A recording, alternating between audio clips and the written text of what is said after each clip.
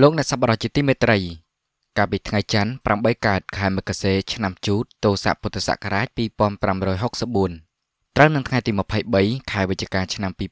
2020ពុទ្ធបរិស័ទជាច្រើន មានសទ្ធាជ្រះថ្លាក្នុងការបំពេញបុណ្យកុសលនិងបានអញ្ជើញមកថ្វាយបង្គំពុទ្ធស្ថាននានានៅក្នុងវត្តប្រាសាទស្រះកណ្ដាលខ្ចាស់ដែលអញ្ជើញមកពីស្រុកម៉ាឡៃ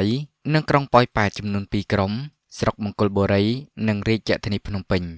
ដែលឡែកនៅក្នុងថ្ងៃអង្គារ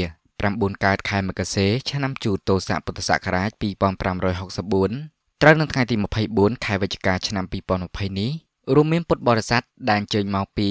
ខេត្តសៀមរាប និងរាជធានីភ្នំពេញបានចូលរួមត្រួតត្រងការសិក្សារៀនសូត្ររបស់សាមណសិស្សត្រួតត្រងចង្ហាន់ព្រះសង្ឃនិងត្រួតត្រងវិស័យកសាងនានានៅក្នុងវត្តដែលកំពុងតែជួបការខ្វះខាតដែកខ្សាច់ស៊ីម៉ង់និងថ្មព្រមទាំងសម្ភារៈផ្សេងផ្សេងទៀត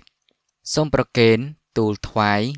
សម្ដេចព្រះដេចគុណអាយុដំលោកជំទាវលោកលោកស្រីអ្នកនាងកញ្ញាឧបាសកឧបាសិកាគ្រប់រូបទាំងអស់ឲ្យបានជ្រាបថាក្រោមការដឹកនាំរបស់ព្រះមហាធម្មលង្ការោចន្ទសជន ក្នុងអារាមមួយនេះមានគោលការណ៍3យ៉ាងធំធំ គឺអប់រំផ្សព្វផ្សាយនិងកសាង ដើម្បីជាប្រយោជន៍ដល់សង្គមជាតិនិងព្រះពុទ្ធសាសនារបស់យើង ជាចុងបញ្ចប់នេះយើងខ្ញុំទាំងអស់គ្នាជាអាចារ្យគណៈកម្មការ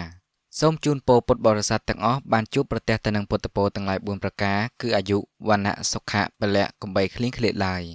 សុខោបញ្ញសៈឧចយោការសន្សំបុណ្យរមែងនឹងមនសិក្តីសុខសូមអរព្រគុណនិងសូមអរគុណ